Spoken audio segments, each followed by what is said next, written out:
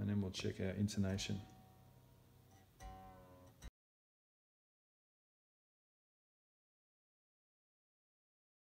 Okay, so our low is in tune. So then we would want to check that tuning at the 12th fret an octave higher and just make sure that we're also in E or hitting hitting an E there.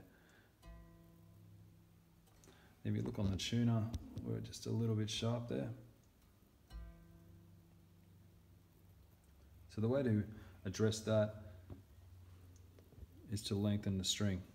So if your intonation's sharp, you need to lengthen the string. If your intonation's flat, you want to reduce the length of the string.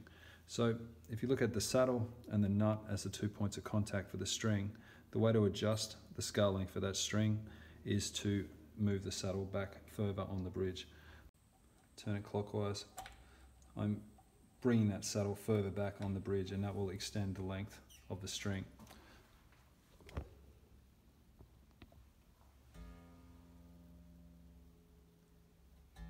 So we'll just check that again. You also want to make sure you're hitting with the same attack as, um, as you're hitting that open string. So as you can see, we're just still just a little bit sharp, but we've improved it. So that, that's how you'd basically do that. You keep tweaking that until your intonation's perfect and you do that across all six strings.